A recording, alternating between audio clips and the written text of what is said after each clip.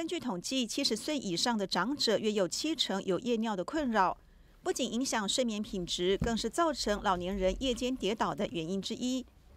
夜尿发生的原因，除了因老化使得膀胱容量变小、男性射护腺肥大等生理构造的问题外，也可能是慢性疾病的征兆。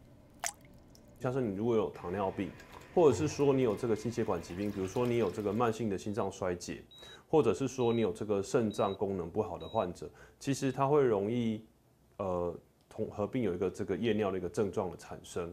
如果民众有夜尿两次以上的情形，并且感到困扰，就建议寻求专科医师的帮助，找出原因。